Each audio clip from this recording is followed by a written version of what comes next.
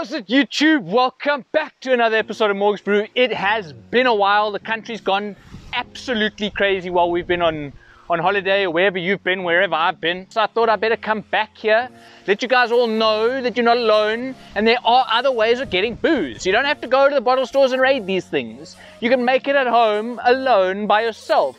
All you need is a little bit of time, a little bit of skill, a little bit of knowledge. So today I want to try and uh, do my part to rebuild this country by not getting involved politically because there's too many of these guys running around, little puppets, you know how they are.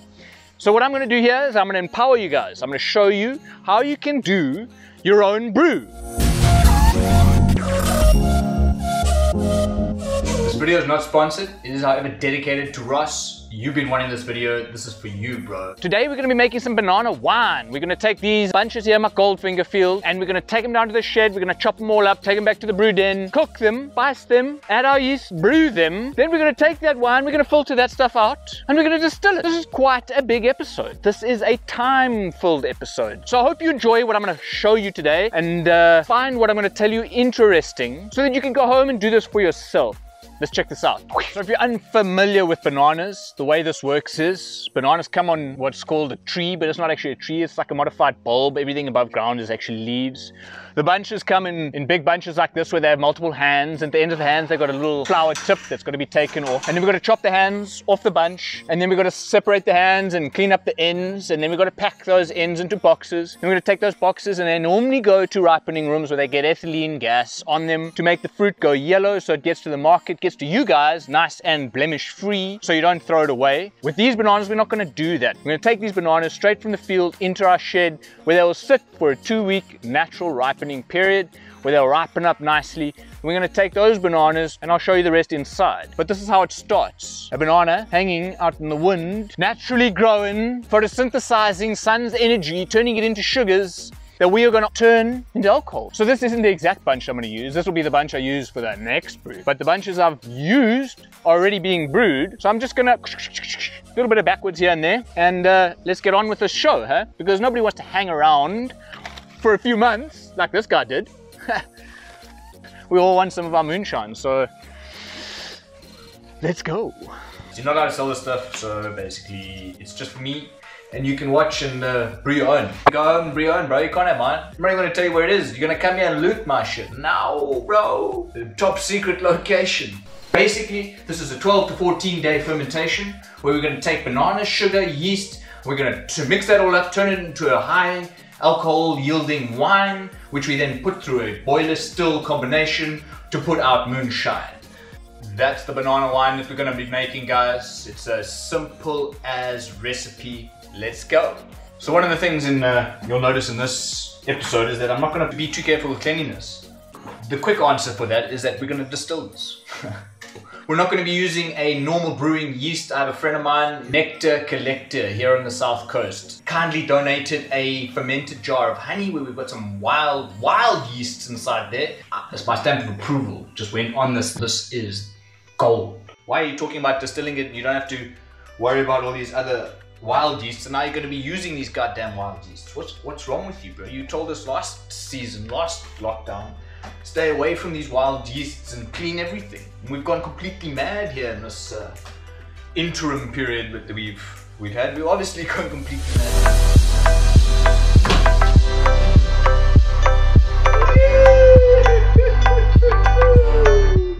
Probably sitting there thinking, what about methanol, bro? What's all this nonsense about going blind, bro? You told me last time I was gonna go blind. You might still go blind if you make this wine. You see, that's the thing. I don't want to drink the wine. I want the moonshine. So I'm not scared of no methanol because I understand the physics. Yeah.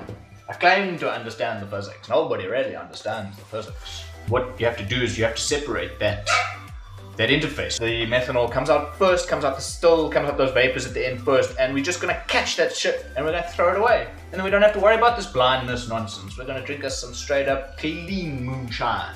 Some of the tools we're gonna need to use are the basics. We're gonna need a thermometer to know our temperature, to let me know when to put the yeast in. And I've got a hydrometer, which is a calibrated device that floats in liquid. The more sugar there is in it, the, the denser the liquid is, the higher this is gonna float. The less sugar in the liquid, the less dense the liquid is, so the lower this thing is going to float.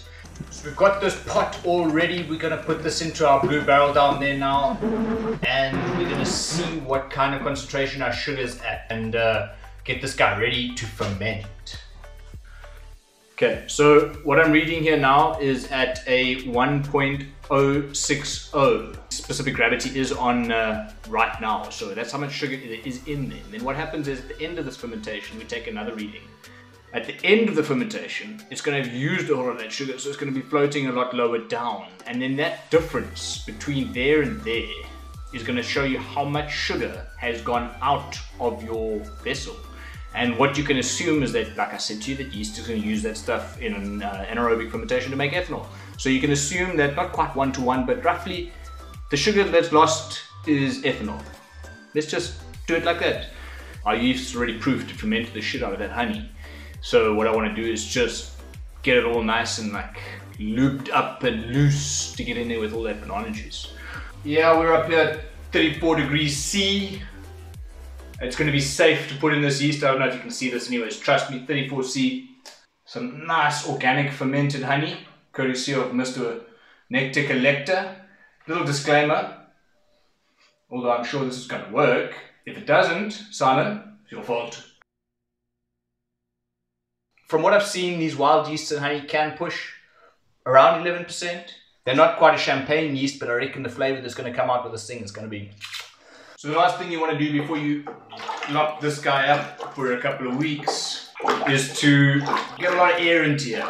The yeast is going to want to start off his process aerobically and it's going to use up all of that sugar and uh, in doing so going to be using oxygen at the same time. So it's going to be respiring, it's going to carbon dioxide build up, that carbon dioxide is going to come up to the top and it's going to start gassing out outside of our fancy pipes we made in one of our videos in the last season. I'm going to write the date on here so we know 18 of July 2021. 7th, 7th of uh, August, 18th of May, we closed this guy up. So there's been 20 days since we sealed this tank up. Let's have a look inside. There's no easy way to do this that I've got right now. The idea here is with minimal disturbance on that surface, try and scoop out all that uh, top gunk and get rid of that. We'll just get rid of that piece nice bucket full of pie. And then we're gonna siphon off here all of our liquid through another another filter bag. And the filtrate out of these processes is gonna be what we put in our boiler. So we're here now. We're here now at last with our still. This is our boiler. Our wine is sitting in here. We have an element at the bottom. And what happens is as the alcohols in this liquid, this mixed liquid, start to heat up, they start to vaporize and volatilize first. Yeah, there's a bit of water that comes with it, but let's say the alcohol leads the way. And of that alcohol, methanol is the guy that's going first. And those vapors are going to come up this column. Throw those vapors up around here. Once they go over this corner, they get into our cooling jacket. Those gases, as they condense, they will move down this pipe and they will drip out here. You cannot fuck this up. You need to take this bit out. If you are making alcohol this way, you must remove the methanol. This is not something that's funny, gonna give you a bad hangover. This shit might just kill you if you drink it. So don't ever even leave that bottle lying around in some kind of a cupboard where you might find it one day and get a whiff of it and think, "Ooh, shit, that smells good, man." Have a swig of it, and that's it. That's it for you. Check it. It's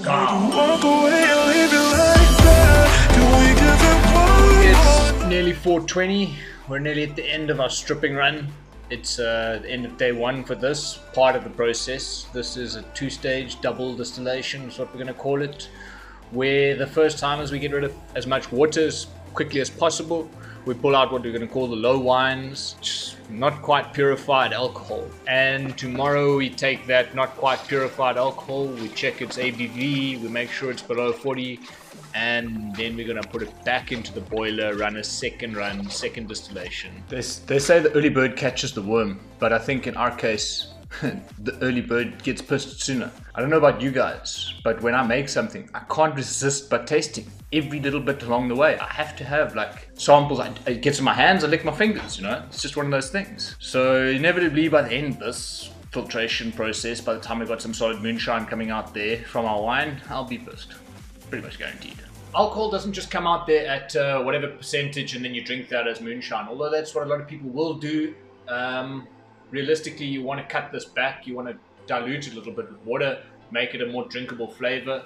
Usually, anything above 40% alcohol is just going to give you quite a bit of a burn. You can have this at a higher percentage. Um, it's, it's different strokes for different oaks, you know. But you know, you generally would use water to dilute the alcohol just to make it drinkable. Okay, that's it. That's it. That's it. That's it. It's all out. All our wine has been stripped. We managed to run the still. We've pulled out all the spirits we're gonna get. A lot lower yield than I expected and than I got last time. Nonetheless, I've got another fermenter already loaded with yeast yeast, so I'll catch up with it. But I'm very interested in the flavors I'm getting out of this, so I'm just gonna taste the different cut. So let me play around with these and uh, figure out what I'm gonna do. But if any of you guys are brewing and you've got any comments on how to cut these things, please stick them down in the comment section below. I'm just gonna think about it for a while and have a few more sips. So I better end this off before I get uh, Tiki Donkey and I won't be able to finish my spiel. So if you're still here, if you watched all the way to the end, you better hit you better hit that like button. It's on this side, I think. Hit the subscribe, thumbs up, give us a comment in the comments below. Let me know if you've ever done this, if you want to do it, if you've got any questions about it, hit me up and see if I can answer. And other than that, thank you very much for watching. It's breakfast time for these guys. My rat, the ratty tat, the original Meister. Hey Milo, say hello to everybody. Say hello to everybody, Milo. Hey, say hello to everybody, Milo rat. This is,